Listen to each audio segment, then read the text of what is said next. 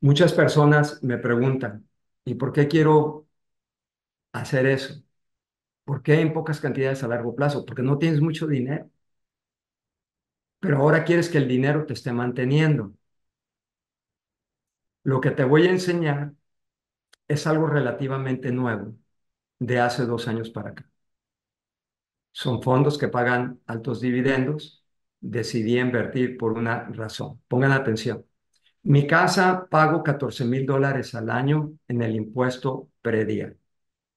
Si yo me muero ahora, mis hijos se van a quedar con la casa. Pero yo sé que no pueden pagar 800, 700 dólares cada uno para mantener la casa y no quiero que la pierdan.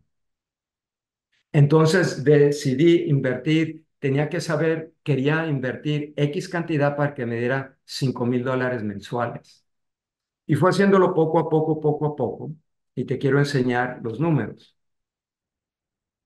No quise poner los fondos, ¿qué? Porque no se trata de eso. Quiero darte eh, la idea nomás. Voy a tomar este fondo que está aquí. Yo invertí 11.794 dólares y la fonda está en 13.000. ¿Okay?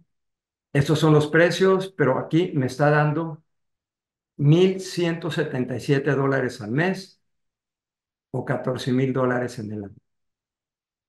Todo este portafolio hasta aquí, porque son ciertos fondos, ok, esto era lo que tenía invertido y me está dando 3.655 aquí. Pero todo este portafolio tengo ahora, no invertí 116 mil dólares, invertí 90 mil. El valor del portafolio está más alto, pero me está dando 5 mil dólares al mes. Eso fue en abril.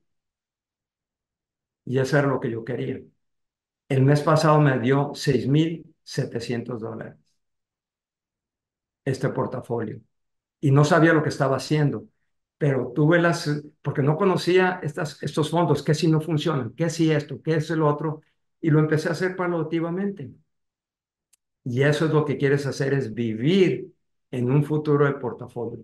Quiere decir que una persona que tiene 57 años y puede lograr en tres años 100 mil dólares, puede tener este tipo de ingreso y no preocuparse.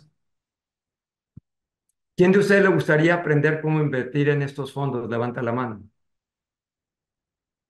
¿Ok? Eso le estaba diciendo a Daniel, quiero, este, voy a probablemente organizar una, este, una plática porque hay ciertas cosas que tienen que saber.